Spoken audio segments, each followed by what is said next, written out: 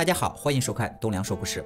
十九世纪末的维多利亚时期，人们对科学的认识尚浅。在这样的时代背景下，魔术师化腐朽为神奇的力量大受追捧。魔术大师卡特门下的两个弟子安吉尔和伯登，正是这万众瞩目的一份子。两人视魔术为生命，致力于追求魔术表演的巅峰，同时也在互相暗暗较劲。他们之间反目成仇的始末，要从一次意外开始说起。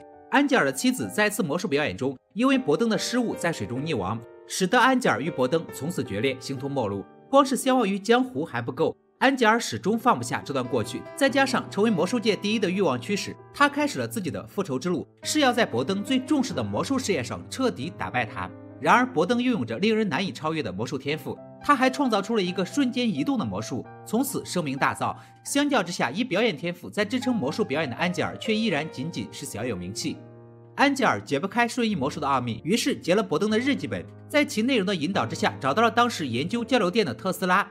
安吉尔从特斯拉这里得到了复制人体的秘密，便以为找到了伯登进行瞬移魔术的方法。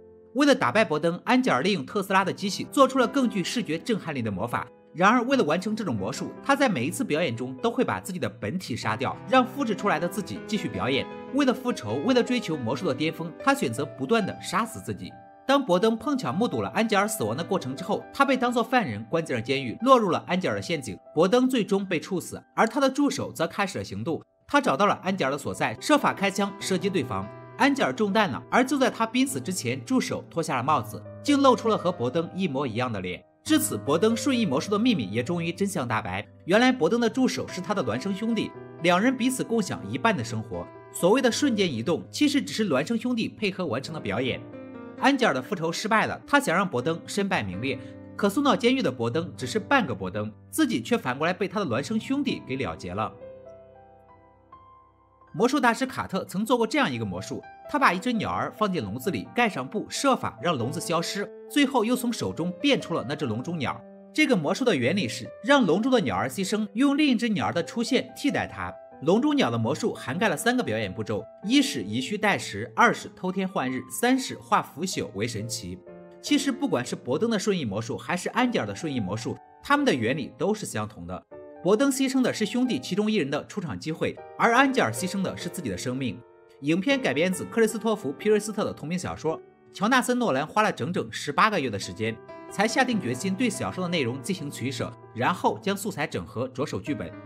克里斯托弗·诺兰将对于原著小说的想法告诉给弟弟乔纳森·诺兰，希望他可以根据原著小说写出剧本的初稿。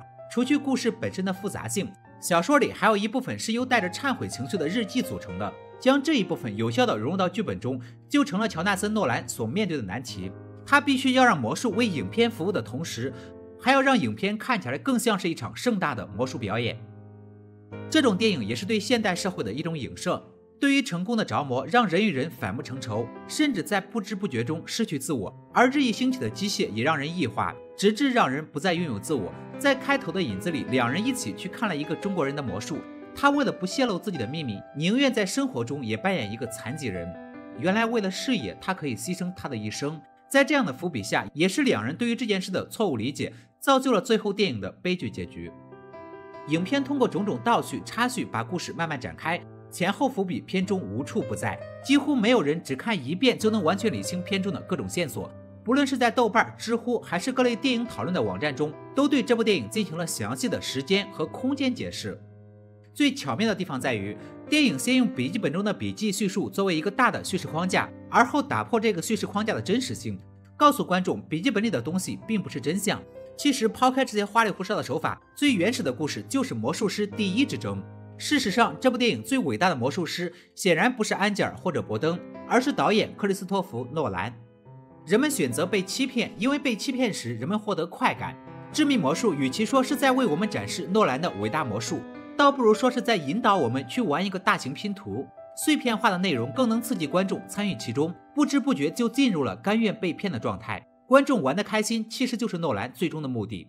电影与观众要生出互动感是非常考验编剧和导演的一件事儿，而诺兰的其他作品，包括《盗梦空间》《记忆碎片》等，都不及《致命魔术》的互动感强。这是诺兰玩结构玩的最极致的一次，三条故事主线交错，不再单单以黑白和彩色的画面区分开，倒着讲故事，因此它可以说是诺兰最完美的作品。好了，今天的故事就说到这里。喜欢我的朋友记得点赞、评论、关注一下。我们下期再见。